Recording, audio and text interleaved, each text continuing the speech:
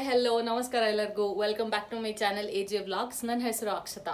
ಇವತ್ತಿನ ಈ ವಿಡಿಯೋಲಿ ನಾನು ನಿಮಗೆ ಬೇಬಿ ಸಿಪ್ಪರ್ಸ್ ಅಥವಾ ಏನ್ ಹೇಳ್ತೀವಿ ಫೀಡಿಂಗ್ ಬಾಟಲ್ ಅದನ್ನ ಯಾಕೆ ವಾಶ್ ಮಾಡಬೇಕು ಅಂಡ್ ಹೇಗೆ ವಾಶ್ ಮಾಡಬೇಕು? ವಾಶ್ ಮಾಡ್ದಲೇ ಇದ್ರೆ ಏನೇನೆಲ್ಲ ಅದರಿಂದ ಪರಿಣಾಮ ಬೀರುತ್ತೆ ಅನ್ನೋದನ್ನ ತಿಳಿಸ್ಕೊಡಕ್ ಇಷ್ಟಪಡ್ತೀನಿ. ಸೊ ಎಂದಿನಂತೆ ನೀವೇನಾದ್ರೂ ಫಸ್ಟ್ ಟೈಮ್ ನನ್ನ ಚಾನಲ್ ವಿಸಿಟ್ ಮಾಡಿದ್ರೆ ಪ್ಲೀಸ್ ಚಾನಲ್ಗೆ ಸಬ್ಸ್ಕ್ರೈಬ್ ಆಗಿ. ಸಬ್ಸ್ಕ್ರೈಬ್ ಆಗೋದ್ರ ಜೊತೆ ಬೆಲ್ ಐಕನ್ ಕೂಡ ಕ್ಲಿಕ್ ಮಾಡಿ. ಬೆಲ್ ಐಕನ್ ಜಸ್ಟ್ ಒಂದೇ ಒಂದ್ಸತಿ ಕ್ಲಿಕ್ ಮಾಡಿದ್ರೆ ಸಾಕು. ನಾ ಪ್ರತಿ ಸತಿ ಅಪ್ಲೋಡ್ ಮಾಡಿದ ಹೊಸ ಹೊಸ ವಿಡಿಯೋಸ್ದು ನೋಟಿಫಿಕೇಶನ್ ನಿಮಗೆ ಬರುತ್ತೆ. ಆ್ಯಂಡ್ ನೀವು ತಕ್ಷಣ ಹೋಗಿ ವಿಡಿಯೋ ನೋಡ್ಬೋದು. ಆ್ಯಂಡ್ ಈ ವಿಡಿಯೋ ನಿಮಗೆ ಇಷ್ಟ ಆದಲ್ಲಿ ಇದೇ ಥರ ಇನ್ನೂ ಹೆಚ್ಚು ಹೆಚ್ಚು ವಿಡಿಯೋ ಮಾಡಲಿಕ್ಕೆ ದಯವಿಟ್ಟು ತುಂಬ ಲೈಕ್ ಮಾಡಿ. ಲೈಕ್ ಮಾಡೋದ್ರೊಂದಿಗೆ ತುಂಬ ಜನರೊಂದಿಗೆ ಶೇರ್ ಮಾಡಿ ಸೊ ದಟ್ ನೆಸೆಸಿಟಿ ಇರೋರಿಗೆ ಇನ್ಫಾರ್ಮೇಶನ್ ತಲುಪುತ್ತೆ ಅಂತ ಹೇಳ್ತಾ.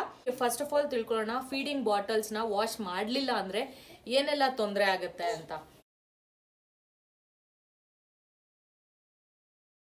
ಫೀಡಿಂಗ್ ಬಾಟಲ್ಸ್ ನೀವು ನೋಡಿದ್ರೆ ನಿಪ್ಪಲ್ಸ್ ಇರುತ್ತೆ ಅದ್ರ ಸಂದಿಲೆಲ್ಲ ಚಿಕ್ಕ ಪುಟ್ಟ ಚಿಕ್ಕ ಪುಟ್ಟ ಕೊಳೆ ಎಲ್ಲ ಕುತ್ಕೊಂಡಿರುತ್ತೆ. ಅದರಿಂದ ಜರ್ಮ್ಸ್ ಎಲ್ಲ ಉತ್ಪತ್ತಿ ಆಗಿ ಅದು ಮಕ್ಳು ಬಾಯಲ್ಲಿ ಹೋಗೋ ಚಾನ್ಸಸ್ ಹೆಚ್ಚಿಗೆ ಇರುತ್ತೆ. ಅಂಡ್ ಫಾರ್ ಎಕ್ಸಾಂಪಲ್ ಕ್ಯಾಪ್ ಮುಚ್ಚದಲ್ಲೇ ಹೊರಗಡೆ ಇಟ್ಟಿರೋದಾಗಿರ್ಬೋದು. ಅದರಿಂದ ಎಲ್ಲ ಜರ್ಮ್ಸ್ ಎಲ್ಲ ಇನ್ನೂ ಹೆಚ್ಚು ಹರಡಿ ಮಕ್ಕಳಿಗೆ ಡಯೇರಿಯಾ ಅಂದ್ರೆ ಲೂಸ್ ಮೋಷನ್ಸ್, ಅದ್ ಅಲ್ದಲೇನೆ ಏನಾದ್ರೂ ಚಿಕ್ಕ ಪುಟ್ಟ ಇನ್ಫೆಕ್ಷನ್ಸ್ ಆಗೋದು, ಅದೆಲ್ಲ ಹೆಚ್ಚಿಗೆ ಇರುತ್ತೆ. ಸೊ ಆದ್ರಿಂದ ಪ್ರತಿ ಸತಿ ಮಕ್ಳಿಗೆ ಫೀಡಿಂಗ್ ಬಾಟಲ್ ಕೊಟ್ಟಾಗ್ಲೂ ವಾಶ್ ಮಾಡೋದು ತುಂಬಾ ಒಳ್ಳೇದಾಗುತ್ತೆ. ಈಗ ಬಾಟಲ್ ವಾಶ್ ಮಾಡಕ್ಕೆ ಹೇಗ್ ವಾಶ್ ಮಾಡೋದು? ಇನ್ನು ಸ್ಟೆರ್ಲೈಸರ್ ಅಂತ ಮಷೀನೇ ಬರುತ್ತೆ. ಆ ಬೇ ಫೀಡಿಂಗ್ ಬಾಟಲ್ಸ್ನ ವಾಶ್ ಮಾಡೋದು. ಅದು ಆಲ್ಮೋಸ್ಟ್ ಲೈಕ್ ಐದು ಸಾವಿರದಿಂದ ಹತ್ತು ಸಾವಿರ ಆಗುತ್ತೆ. ಸೊ ಅದನ್ನ ಅಫೋರ್ಡ್ ಮಾಡ್ದಲೇ ಇದ್ದಿದ್ದ ಟೈಮಲ್ಲಿ ನಮ್ಮನೆಯಲ್ಲೂ ಅದಿಲ್ಲ. ಸೊ ಅದಕ್ಕೋಸ್ಕರ ನಾನೊಂದು ಬೇರೆ ಮೆಥಡ್ ಅಲ್ಲಿ ವಾಶ್ ಮಾಡ್ತೀನಿ. ಅದ್ ಹೇಗೆ ಅಂತ ನೀವು ಈ ವಿಡಿಯೋ ಎಂಡ್ ಅಲ್ಲಿ ನೋಡ್ಬೋದು ಅದನ್ನ. ಅಂಡ್ ಯಾವಾಗ ವಾಶ್ ಮಾಡಬೇಕು, ಎಲ್ಲಿ ತನಕ ಇದೇ ರೀತಿ ಪ್ರಾಸೆಸ್ ಫಾಲೋ ಮಾಡಬೇಕು ಅಂತ ಅಂದ್ರೆ ಒಂದ್ಸತಿ ಕೊಟ್ಟಾದ್ಮೇಲೆ ನೆಕ್ಸ್ಟ್ ಟೈಮ್ ಅದರಲ್ಲೇ ಹಾಲು ಅಥವಾ ನೀರು ಏನಾದರೂ ಕೊಡ್ಬೇಕಾದ್ರೆ ಅದನ್ನ ಮತ್ತೆ ಪುನಃ ಸ್ಟೆರಿಲೈಸ್ ಮಾಡಿನೇ ಕೊಡ್ಬೇಕಾಗತ್ತೆ. ಯಾಕಂದ್ರೆ ನಮಗೆ ಕಣ್ಣಿಗೆ ಕಾಣೋದಿಲ್ಲ ಕೀಟಾನು ಬಟ್ ಡೆಫಿನೆಟ್ಲಿ ಅದರಲ್ಲಿ ಇದ್ದೇ ಇರುತ್ತೆ.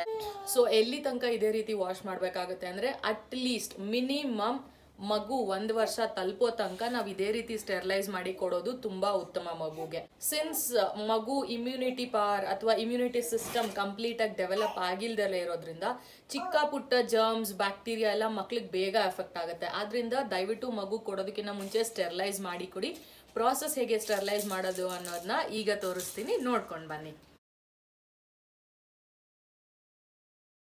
ಮೊದಲನೇದಾಗಿ ಈ ರೀತಿ ಎಲ್ಲ ಬಿಡಿಸಿಡಿ. ಅದ್ರ ಒಳಗಡೆ ನಿಪ್ಪಲ್ದು, ಅದ್ರ ಒಳಗಡೆ ಏನಿರುತ್ತೋ ಹಾಗೆ ಈ ರೀತಿ ಫಿಲಿಪ್ ಸೆವೆಂಟಲ್ಲಿ ಈ ರೀತಿ ಒಳಗಡೆ ಇರುತ್ತೆ, ನೀರು ಸೋರಬಾರ್ದು ಅಂತ. ಸೊ ಇದನ್ನು ಎಲ್ಲಾನು ಬಿಡಿ ಬಿಡಿಯಾಗೆ ಪಾರ್ಟ್ ಮಾಡಿ ಇಟ್ಕೊಳ್ಳಿ ಫಸ್ಟ್ ಆಫ್ ಆಲ್ ನೆಕ್ಸ್ಟ್ ಏನು ಮಾಡಬೇಕು ಅಂದರೆ ನೀರನ್ನ ಚೆನ್ನಾಗಿ ಕುದಿಯೋಕೆ ಇಡಬೇಕು. ಕುದ್ದಿ ಚೆನ್ನಾಗಿ ಬಬಲ್ಸ್ ಬಂದಿದೆ, ಗುಳ್ಳೆ ಗುಳ್ಳೆ ಬಂದಿದೆ ಎಲ್ಲ ಕಡೆ. ಸೊ ಈ ನೀರನ್ನ ಗ್ಯಾಸ್ ಆಫ್ ಮಾಡಿ ತೆಗೆದಿಟ್ಕೋಬೇಕಾಗತ್ತೆ ಈಗ. ಈಗ ಒಂದೊಂದೇ ಐಟಮ್ನ ಡಿಪ್ ಮಾಡ್ತಾ ಬರೋಣ. ನೀರು ಒಂದು ಟೆನ್ ಟು ಫಿಫ್ಟೀನ್ ಮಿನಿಟ್ಸ್ ಕುದಿಸಿದ್ರೆ ಸಾಕಾಗತ್ತೆ.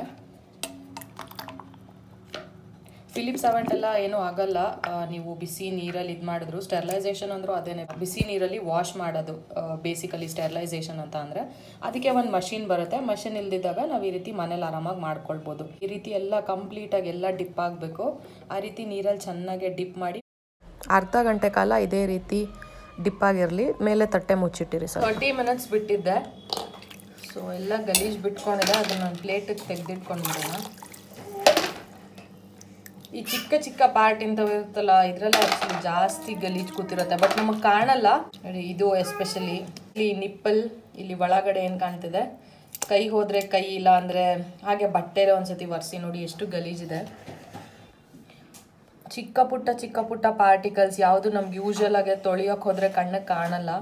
ಆ ರೀತಿ ಅಷ್ಟೊಂದು ಗಲೀಜಿದೆ ಆ್ಯಂಡ್ ಅಗೇನ್ ನಾವು ಇದನ್ನ ಸುಮ್ಮನೆ ಹಾಗೆ ತೊಳೆದ್ಬಿಟ್ಟು ಮಕ್ಳಿಗೆ ಕೊಟ್ರೆ ಇನ್ಫೆಕ್ಷನ್ ಆಗೋ ಚಾನ್ಸಸ್ ಹೆಚ್ಚಿಗೆ ಇರುತ್ತೆ. ಇದಿಷ್ಟು ಇವಾಗ ಆಯಿತು. ಇದನ್ನ ಇನ್ನೊಂದ್ಸತಿ ನಾನು ನಾರ್ಮಲ್ ಆಗಿ ಸೋಪ್ ವಾಟರಲ್ಲಿ ತೊಳಿತೀನಿ. ಯಾವಾಗಲೂ ನೆನ್ಪಿಟ್ಕೊಂಡಿರಿ ಸೋಪ್ ತುಂಬಾ ಹೆಜ್ಜಿ ತೊಳಿಯೋಕೆ ಹೋಗ್ಬೇಡಿ. ಅಕಸ್ಮಾತ್ ಏನಾದರೂ ರಿಮೈನಿಂಗ್ಸ್ ಏನಾದರೂ ಉಳಿದ್ರೆ ಕಷ್ಟ ಆಗುತ್ತೆ. ಅದಕ್ಕೋಸ್ಕರ.